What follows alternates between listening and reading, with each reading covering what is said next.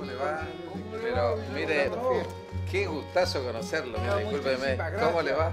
El diputado Alfonsín eh, no es la primera vez que está en Neuquén, eh, hablando con el vicegobernador, eh, nos invitó a, a visitar la legislatura y como ámbito democrático por excelencia, eh, donde están los representantes del pueblo de la provincia.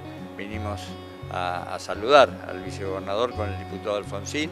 y agradeciéndole al diputado Alfonsín la visita y el enriquecimiento que es para el bloque de la Unión Cívica Radical poder contar con él, un hombre ligado a la democracia, un apellido ilustre en la Argentina y el reconocimiento y el fortalecimiento de la Unión Cívica Radical en nuestra provincia. Eh, les agradezco a ambos, en serio, que me hayan permitido visitar, que es lo que corresponde, además al vicegobernador, quien nos atendió con gran amabilidad, con mucho afecto, con mucha consideración y también conversamos sobre la necesidad de, bueno, trabajar junto a los argentinos, ¿eh? tratar de tratarnos eh, un poco más respetuosamente entre todos, dialogar un poco más.